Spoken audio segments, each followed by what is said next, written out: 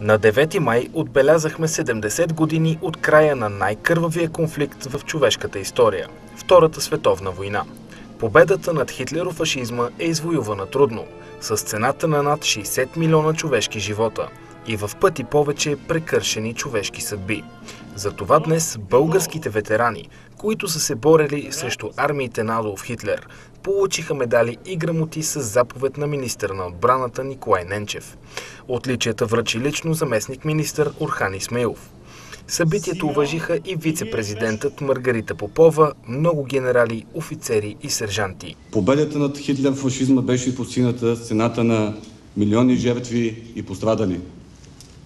Скъпи ветерани, поколения българи се славят с паметта на загиналите, изписани славни страници в нашата военна история. Приемете нашия почет и признателност към вас, живите, които преди 70 години със своята всеотдайност и жертвоготовност направите така българската бойна слава да стигне до навсякъде по света. Вие сте хората, които преди години сте могли да кажете, че сте готови да жертвате живота си заради нашия живот, заради бъдещето и слънчевия ден на моите деца и на моите внуци.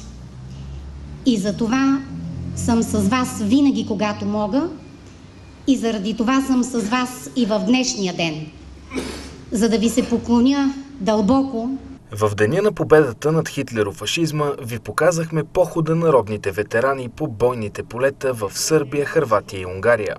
Станахме съпричастни на мъката им по загиналите другари, но и свидетели на силният им дух. Дадохме скъпи жертви, но нашето участие в войната беше призната от съюзниците с което облегчихме съдбата на България. И ние, екипът на военния телевизионен канал, се покланяме пред героичния подвиг на ветераните от Втората световна война. Хората, заради които днес ние се радваме на независимостта и свободата си.